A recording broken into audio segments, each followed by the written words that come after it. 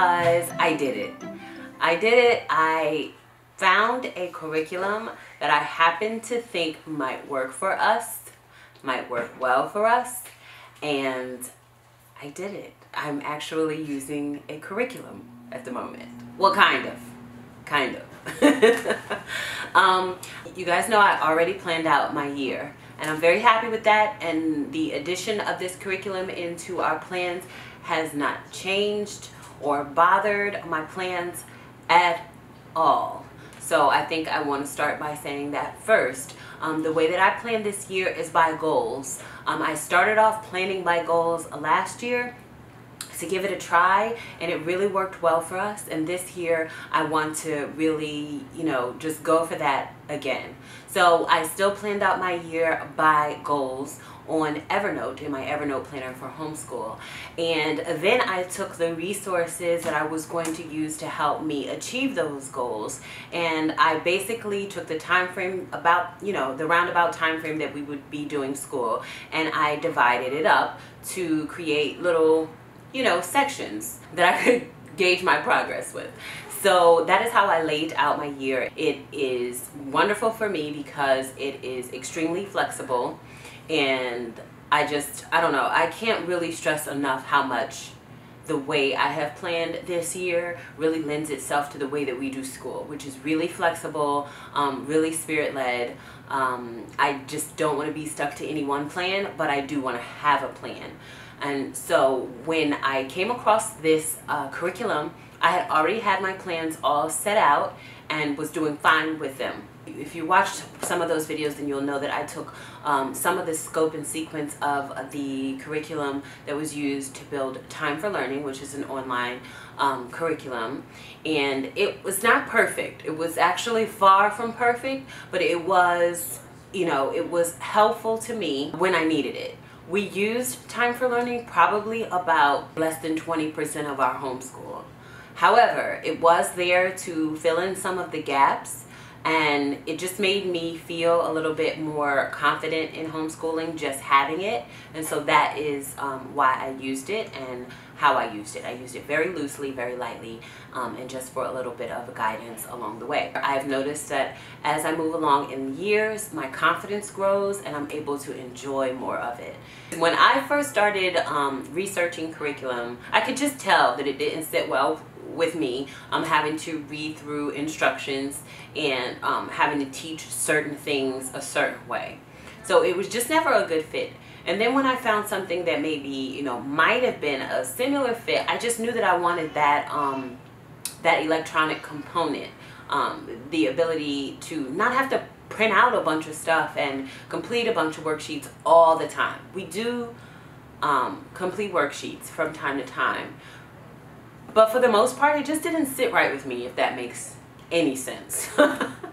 One of my subscribers um, actually left a comment that was saying that the curriculum that she used was actually available in PDF format. So when she mentioned that in um, one of the comments, she uh, mentioned that she used the good and the beautiful curriculum. I've heard about it before, but because I had decided to stick to my no set curriculum, I just wanted to be content with where I was, and so I kind of stayed in that lane. I had stumbled upon it as far as history was concerned because I was looking around for a history curriculum, because you guys know that that's probably the area that I have the least amount of confidence in teaching. But in the meantime, I had already decided that I was just going to use some of the Who Was books and some living books, and then we were going to use a timeline, which I'm really excited because that has evolved, and I will share that with you in another video. That was where I first learned about the good and the beautiful, was looking for the history curriculum. And then um, when she mentioned that the curriculum she was using, which was the good and the beautiful, was available in PDF format, I was like, hmm, let me go see. So I went back and revisited, and then I realized that all of the language arts um, version of the curriculum is available for free um, to download in P PDF format and print out yourself and bind and use. And I thought that was number one, extremely generous. because it's not that you need to have everything for free in the homeschool world. I'm more than willing to pay um, for things, but it's just a really slippery slope that you go down when you start homeschooling and you feel like you need to have um, X, Y, and Z, and you spend your money on that thing, and it doesn't even work for you in your homeschool. And that is the hard place you end up being in. And or the only set curriculum that I had purchased before was my father's world curriculum for the first grade. And it was a complete fail. Well, maybe not a complete fail because I still ended up using a lot of the resources from the curriculum, but I definitely did not follow it at all. Um, it just was not a good fit for us. Um, I'm not saying it's a horrible curriculum at all. It just didn't work for us. And then I ended up spending that 200 plus dollars for a curriculum that I started to feel the pressure like I had to follow this curriculum because I spent 200 plus dollars on it. Um, and that was a really hard place to be in and added a lot of extra stress on me that I didn't need and I very quickly just decided to let it all go and go back to how I was planning and doing school in the first place with no set curriculum.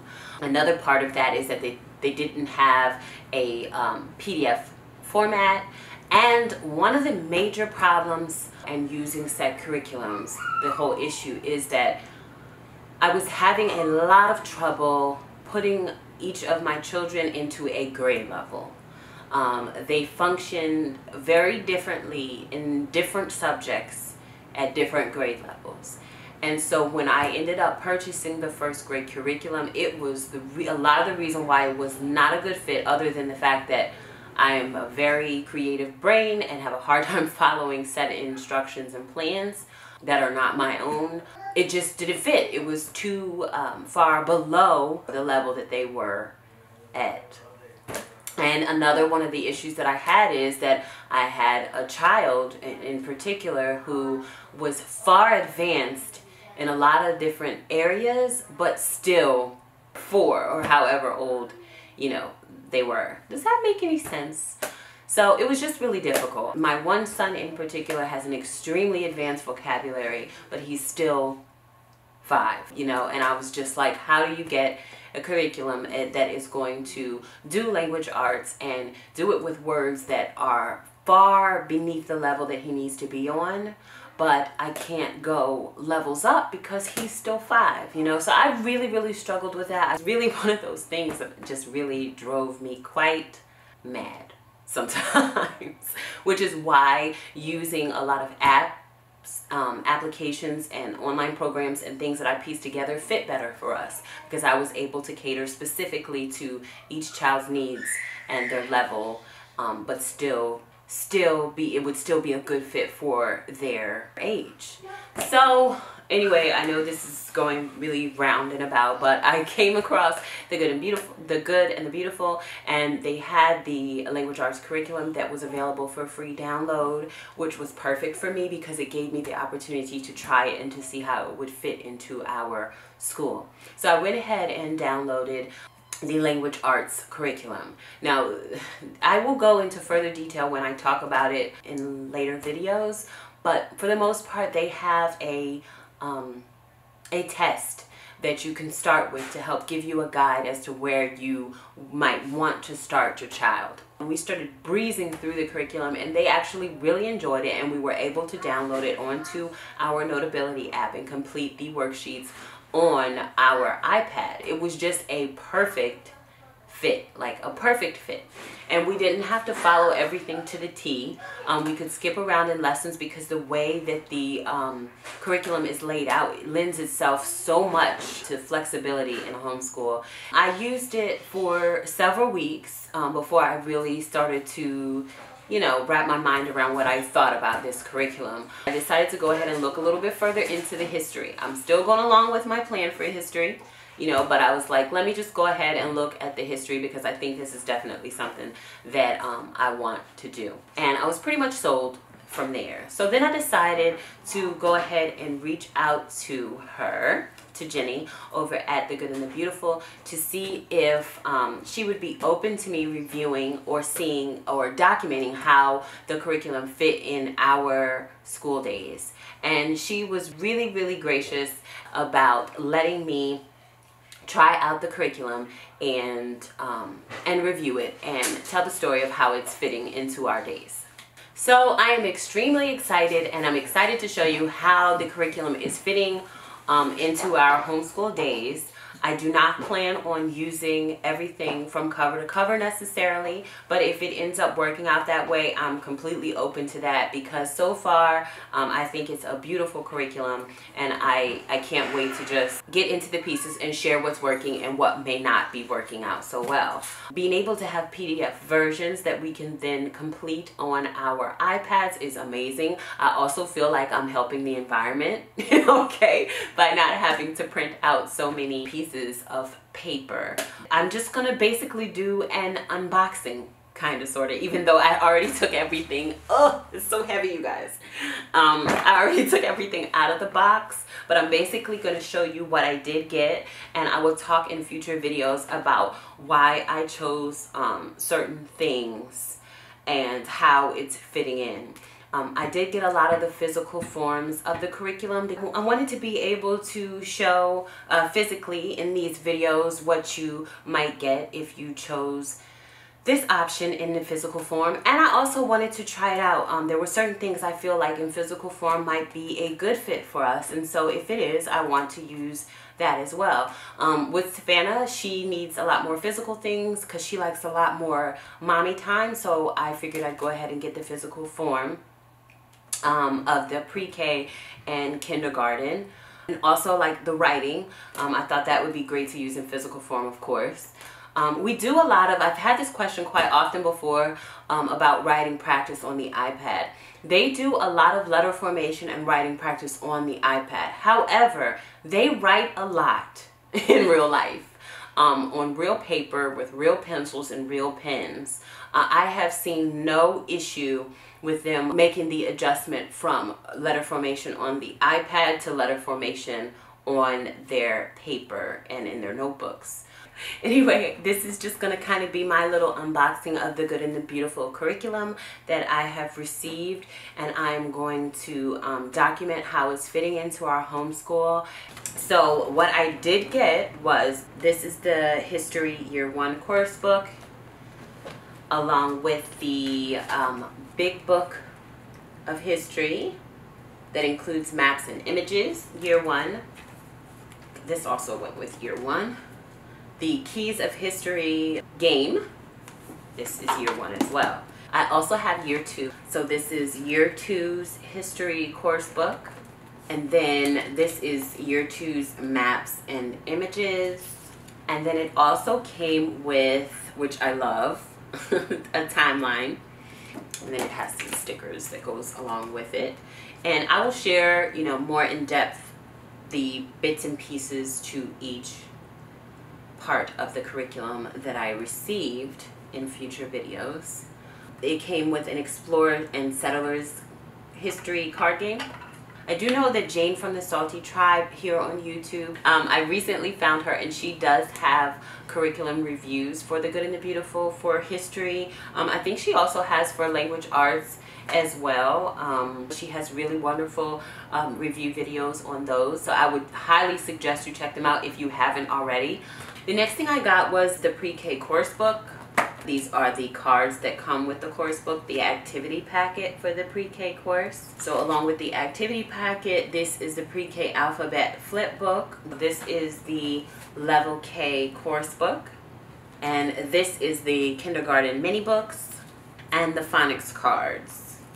And then I think the last part of the K, level K is the level K reader. So this is the level K reader. Now I have everything also in PDF form and downloaded onto our Notability app.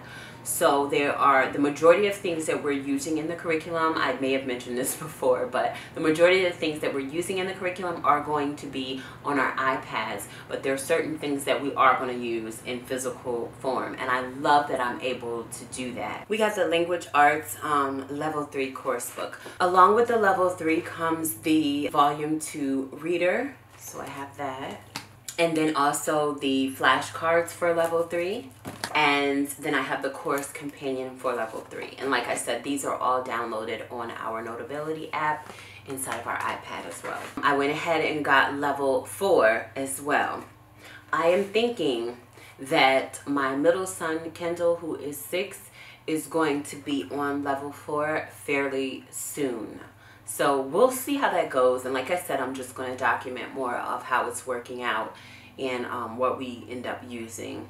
This is the Language Arts and Literature Level 4, Part 1 of the course book. And this is the um, Level 4, Part 2 course book. This is the Geography and Grammar cards. Um, the next thing I got was the handwriting books. I started with Level 1 for Savannah. This is the handwriting Level 1 book. And like I said, I'm not going to get too in-depth into what the insides look like right now because I'm going to show you in future videos. The level three for my son Kendall because while his vocabulary is probably on a seventh or eighth grade or ninth grade level, his handwriting, however, is not. So we're working on it. And then I got level four for Cameron because Cameron's handwriting is exceptional and he is moving on to um, cursive writing. So I thought the level four was a better fit for him. I also decided to get the nature notebook. I'm not exactly sure how we're going to end up using this. I'm not sure if we're going to use this in physical format or um, use them on the iPad. I am thinking on the iPad, which is why I only got one.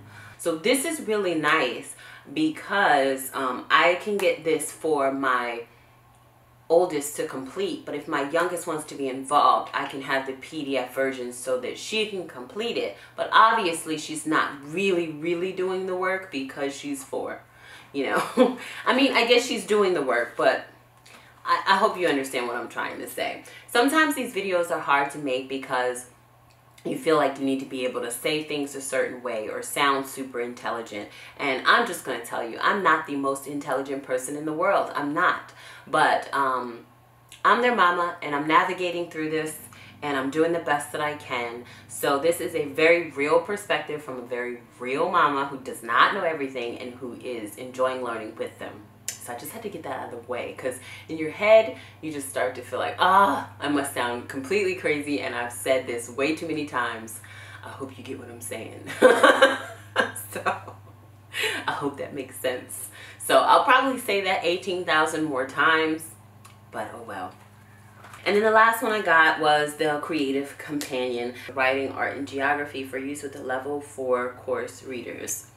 Now this is the last stack of things that I got and I'm actually very, very excited about it. I wanted to give them a try. These are their unit studies.